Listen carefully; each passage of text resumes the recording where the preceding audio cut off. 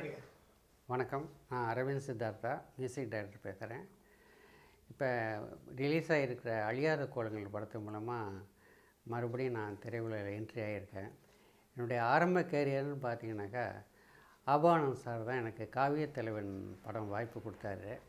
அபானனுடைய படங்களில் காவிய தலைவன் முற்றுகை ரெண்டு படமும் நான் பண்ணேன். அந்த டயத்தில் பெரிய சிங்கர்ஸ் எல்லாருமே அதில் போட்டு அந்த ப- படம் பாடின பாடினாங்க. SP Balasubrahmanyam Yesudas Manorama madam Chitra B Susheela இப்படி பெரிய சிங்கர்ஸ்லாம் பாடினாங்க. எல்லாருமே வந்து எனக்கு ரொம்ப ஆதரவு கொடுத்து அந்த படத்தில் ஒரு நல்ல ஒத்துழைப்பு கொடுத்தாங்க. அதுக்கப்புறம் முற்றுகைன்னு ஒரு படம் பண்ணேன். அந்த படத்துலேயும் ஒரு நல்ல பாடல்கள்லாம் ஃபோக் டியூன்ஸில் நல்ல பாடல்கள்லாம் வந்துச்சு. இதுக்கிடையில் நிறைய சின்ன திரையில் வந்து நிறைய படங்கள் நிறைய இதற்கிடையில் சின்ன திரையில் நிறைய சீரியல்லாம் பண்ணேன். இப்போ கம்பெனி பேர் சொல்லலாமா சார்?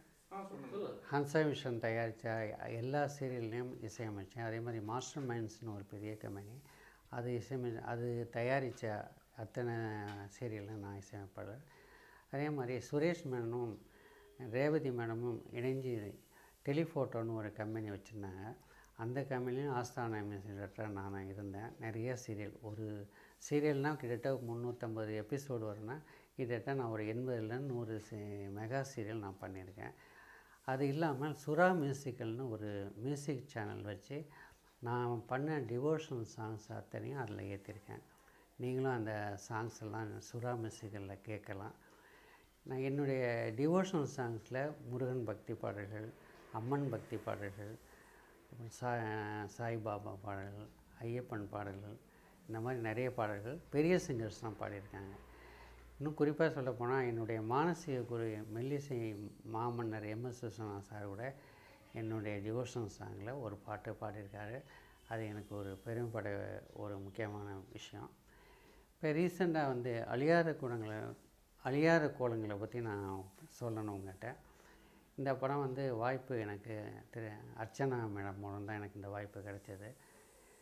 இதில் வந்து பெரிய டெக்னீஷியன்ஸ் பெரிய ஆர்டிஸ்ட்லாம் பார்ட்டிசிபேட் பண்ணியிருக்காங்க. சார் குரல் இல்லை அது அழியாத கோலங்களில் பெரிய டெக்னீஷியன்ஸ் ஆர்டிஸ்ட் எல்லாருமே பார்ட்டிசிபேட் பண்ணியிருக்காங்க. அதில் நான் மட்டும்தான் ரொம்ப ஜூனியர். அப்படி இருக்கப்போ எனக்கு இந்த படத்தில் வந்து ஒரு நல்ல பேர் வாங்கி ஆகணும். வாய்ப்பு கொடுத்ததை வந்து நல்லபடியாக காப்பாற்றி ஆகணும் தக்க வச்சுக்கணுன்ட்டு எனக்கு ரொம்ப ஒரு வெறி இருந்துச்சு. அதுக்கேற்ற மாதிரி நல்ல ஒரு அமைப்பான பாடல் எனக்கு கிடைச்சது. கிட்டத்தட்ட ஒரு எண்பது டியூன் போட்டு அதில் ஒரு டியூனை போட்டு ஹிட் ப ஒரு டியூனை ஓகே பண்ணாங்க. அந்த பாட்டு படத்தில் படத்தில் நல்ல முறையில் அவங்க வந்து ஷூட் பண்ணியிருந்தாங்க. அந்த படம் படம் ரிலீஸ் ஆனப்போ அந்த பாட்டு மிக மிகப்பெரிய ஒரு ஹிட்டாக பேசப்பட்டிருக்கு. அதே மாதிரி பின்னணி இசையிலையும் அழியாத படங்களில் வந்து ஒரு வித்தியாசத்தை காட்டினதால பத்திரிகை லெவலில் வந்து எனக்கு நல்ல பேர் கிடைச்சிது. பத்திரிகையாளர்களுடைய ப்ரெஸ் மீட்லேயே எல்லா பத்திரிகையாளர்களுமே குறிப்பாக இசையை பற்றி பேசினாங்க. அது எனக்கு ஒரு பெருமை. ஏன்னா ஒரு சக கலைஞர்கள்லாம் பெரிய கலைஞர்களாக இருக்கப்போ அவங்களோட சேர்ந்து என்னையும் சேர்த்து பேசினது எனக்கு பெரிய ஒரு ஒரு சந்தோஷம் மகிழ்ச்சி கொடுத்தது. இன்னும் நிறைய படங்களுக்காக நான் காத்துக்கிட்டு இருக்கேன் இன்றைக்கி ட்ரெண்டுக்கு இன்றைக்கி ஜென்ரேஷனுக்கும் ஒரு நெக்ஸ்ட்டு ஜென்ரேஷன் வந்துட்டு இன்றைக்கி டெக்னாலஜிக்கும் என்னால் பண்ண முடியும். அதுக்கான தயாரிப்புலேயும் முனைப்புலேயும் நான் இருக்கேன். எனக்கு நல்ல ஒரு வாய்ப்பு மேற்கொண்டு கிடைச்சதுன்னா நிச்சயமாக நிறைய படங்கள் கிடைக்கும். செய்வேன். இன்னொரு முக்கிய விஷயம் நான் சொல்லணும். நான் வந்து பள்ளி வாழ்க்கையிலேருந்தே மெல்லிசை மன்னருடைய ரசிகர். எம்எஸ் விஸ்வநாத் சார்னாக்கா அவ்வளவு ஒரு வெறி பிடிச்சி அலைவேன். பள்ளி வாழ்க்கையிலேருந்தே அவருடைய பாடல்களை அவருடைய படங்கள் பின்னணி இசையெல்லாம் கேட்டு கேட்டு கேட்டு அதே மைண்ட் செட் ஆகி அதில் தான் என்னுடைய மியூசிக்கை வளர்ந்தது.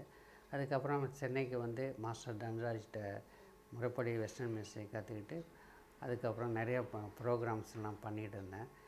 மெல்லிசை மன்னரை பற்றி சொல்லணுன்னாக்கா என்னுடைய பள்ளி வாழ்க்கையில் நான் படிச்சுட்டு இருந்தப்போ அப்போ அது வந்து ஆயிரத்தி தொள்ளாயிரத்தி அறுபத்தி ரெண்டு அந்த மாதிரி காலகட்டம். அப்போல்லாம் வந்து ரேடியோ வந்து ரொம்ப லிமிட்டடாக இருக்கும். லிமிட்டடான வீட்டில் தான் இருக்கும். டிவி கிடையாது எதுவுமே கிடையாது. பாடல்களை கேட்கணுன்னாக்கா எங்கேயாவது கல்யாண வீட்டில் பாட்டு கேட்டுச்சுனா தான் பாடல்களை கேட்க முடியும்.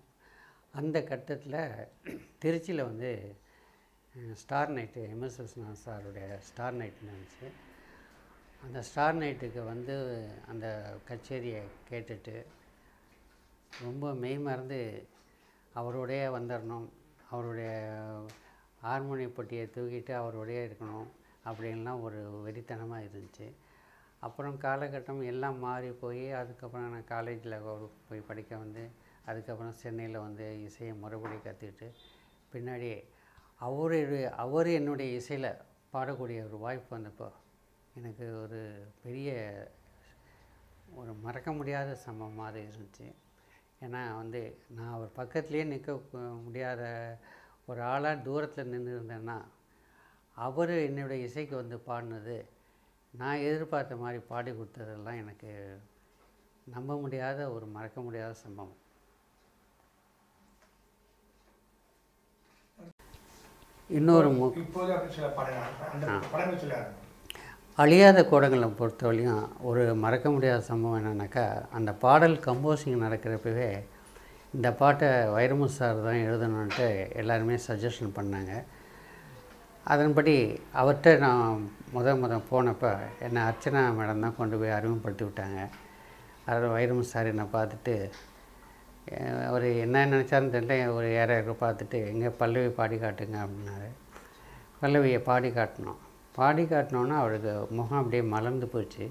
ரொம்ப அருமையான அச்சவனை இதுக்கு நல்ல வரிகளை எழுதணும். இந்த இந்த பாடல் இந்த ஆண்டில் பேசப்படணும் அப்படின்னு உடனே அவர் இந்த பாட்டு சித்ரா மேடம் பாடினா மிக பிரமாதமாக வரும்ன்ட்டு உடனே சித்ரா மேடத்துக்கு ஃபோன் பண்ணி அவரே நேரடியாக பேசி என்னை பற்றி ஒரு நல்ல இன்ட்ரொடக்ஷனை அவங்ககிட்ட சொல்லி இந்த பாடலை பாட வச்சார். அது ஒரு மறக்க முடியாத வைரமு சாரோட நான் பழகுனதுக்கு ஒரு மறக்க முடியாத சம்பவம் அது.